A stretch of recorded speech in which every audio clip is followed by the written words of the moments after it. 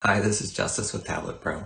Before we start this video, I want to show you some resources that myself and the team at Rebelle have been working to perfect.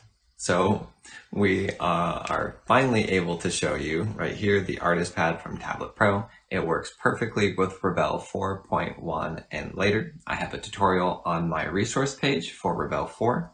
So for those of you who are unfamiliar with it, it really just gives you all the different tools that you that you want to be using uh, right at your fingertips. You can resize, size, open panels, uh, do basically all the different things that you would want to be able to do. And switch brushes, all that jazz. Okay, so here is the resource page.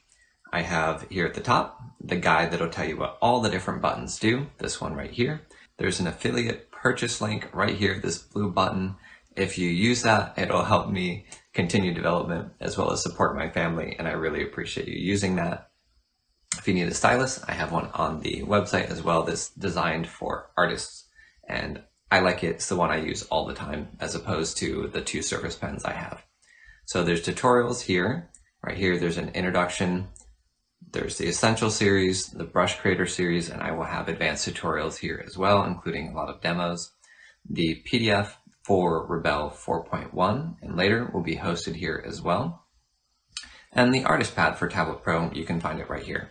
The install guide for Tablet Pro is right here as well. And that will walk you through setting up the artist pad that you saw uh, just a moment ago. Let's go ahead and get started with the tutorial. If you guys are using a stylus to do digital art on a Windows 10 tablet, this is a fantastic channel for you, so subscribe right now. Hi, my name is Justice, and in this video we're going to be going through the five different paint modes for wet and dry media, as well as watercolors, very specific transparency modes. And oils has a dirty brush mode, which you're going to want to have on all the time. So let's go ahead and jump right in. We're going to start by putting some colors down on the screen. We're going to select the first mode, paint, and we're just going to put down a couple different colors so that I can demonstrate these modes to you. A nice purple and back to a reddish color. All right, so we use the paint mode. The keyboard shortcuts for these are one, two, three, four, and five. So paint, what this is going to do is this is going to paint a solid color with no blending directly over the top. Number two is going to do a little bit of color mixing. So you can see right here on the edge, you can see a little bit of color is absorbing into that, mixing into there. Blend, this one is my personal favorite. Uh, with a little bit of light pressure, you can blend and a little bit of heavier pressure, push down a little harder, is going to add more color. Blend number four is going to just move the color that's already on the canvas. It's going to move the paint that already exists there. And number five, which should be in every single drawing program. I love this feature. It's erase with the brush that you already have selected. An absolute must have. All right, let's go ahead and undo. And I'm going to show you the transparency modes here. The transparency modes are right over here we have transparent, semi-opaque, and opaque. We're going to go ahead and select transparent. I'm going to use this nice red color.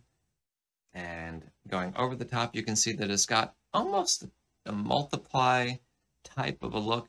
It is not going to cover over, it's more going to kind of glaze over the top of the underlying color. All right, semi-opaque. Actually, let's go ahead and go straight to opaque.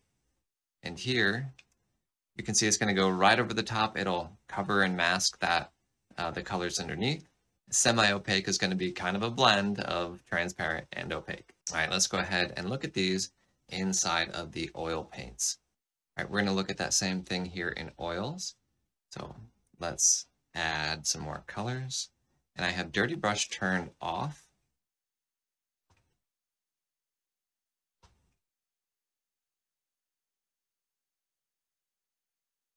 Going to paint right here and right here.